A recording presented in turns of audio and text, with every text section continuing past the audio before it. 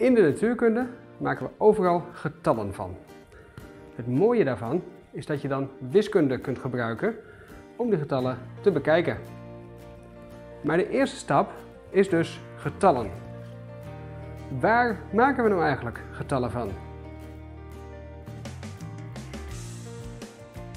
Dingen die je kunt meten, dus waar je een getal van kunt maken, noemen we grootheden. Voorbeelden daarvan zijn de lengte of de temperatuur. Je kunt bij een grootheid altijd de vraag stellen, wat is de... en dan die grootheid. Dus bijvoorbeeld, wat is de lengte? Het antwoord op die vraag, dat is dan een getal en daar komt dan nog een eenheid achter. Bij lengte is dat bijvoorbeeld centimeter. Als je vraagt wat is de lengte, is het antwoord de lengte is 10 centimeter.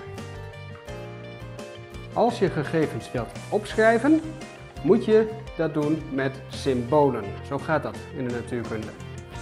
Die symbolen, er zijn symbolen voor de grootheden en symbolen voor de eenheden, moet je allemaal uit je hoofd kennen. Nou, denk je misschien, ja, dat natuurkunde was toch dat vak waarbij je dingen moest snappen en juist niet moest leren. Dat is niet helemaal waar.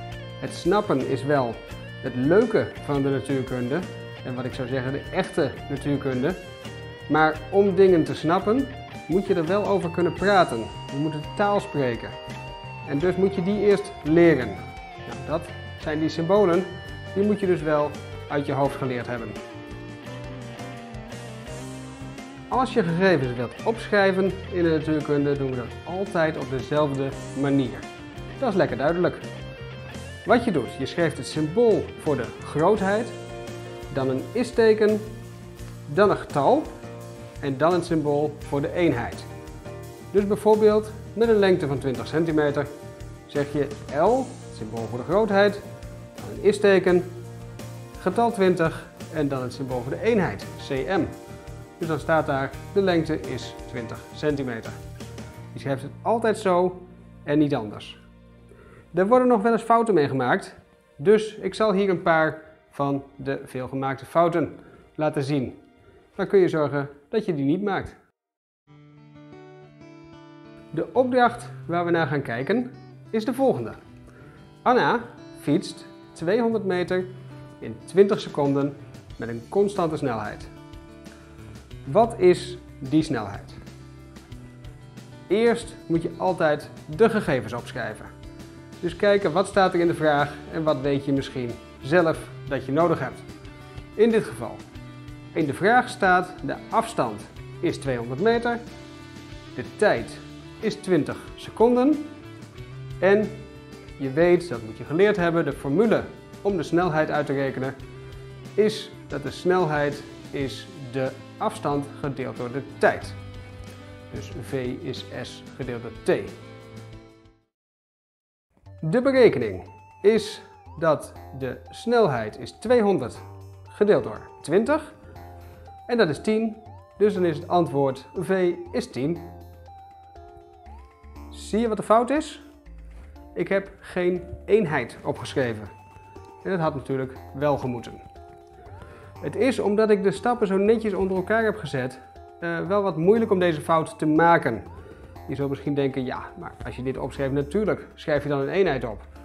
En dat is ook de bedoeling. Dat is de reden dat we dit patroon hebben van eerst die gegevens, dan de berekening, dan het antwoord. Want als je het op die manier opschrijft, dan is het best wel makkelijk om het goed te doen. Dus zorg ervoor dat je al die stappen doet, dan maak je deze fout niet.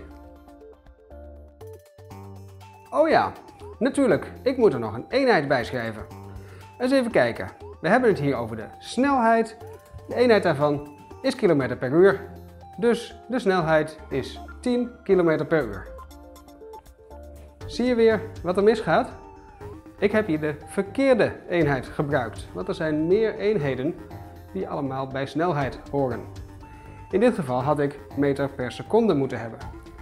De manier om te zorgen dat je deze fout niet maakt, is door al tijdens je berekening de hele tijd de eenheid ook op te schrijven.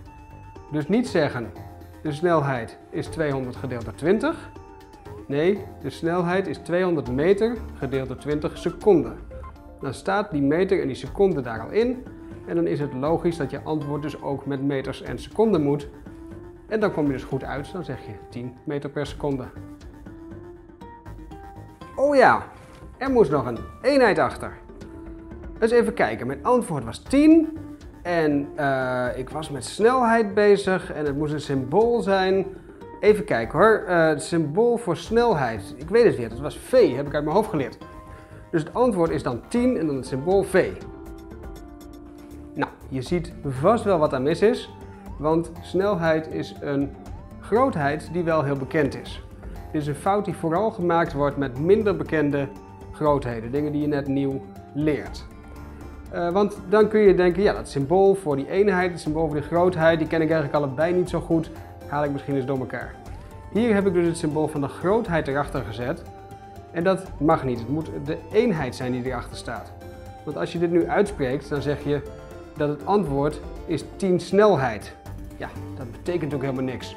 Dus als je wat meer gevoel hebt voor wat die symbolen eigenlijk zijn, wat die eenheden betekenen, dan maak je deze fout niet. Maar natuurlijk ben je soms ook nieuwe dingen aan het leren. En dan wil je deze fout ook niet maken, want dat kost je natuurlijk wel gewoon punten op de toets.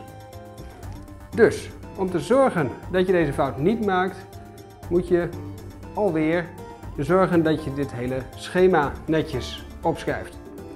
Want als je begint met je gegevens en dan je berekening en uiteindelijk zeg je het antwoord, schrijf ik netjes op, V is 10V. Nou, dat klinkt zo dom, dat schrijf je niet op. Dan denk je, ja, dit klopt niet. Dus op die manier kun je zorgen dat je die fout niet maakt. Dus opnieuw, zorg dat je netjes de volgorde aanhoudt van eerst gegevens, dan berekening en tenslotte het antwoord. De gegevens zijn dat de afstand is 200 meter. De tijd is 20 seconden. De formule voor de snelheid heb ik geleerd. Die is V is S gedeeld door T. Oftewel snelheid is afstand gedeeld door tijd. En dan kan ik door met de berekening. Die formule vul ik in. V is S gedeeld door T. Is dus 200 meter gedeeld door 20 seconden. En dat is dan 10 meter per seconde. Het antwoord is dus V is 10 meter per seconde.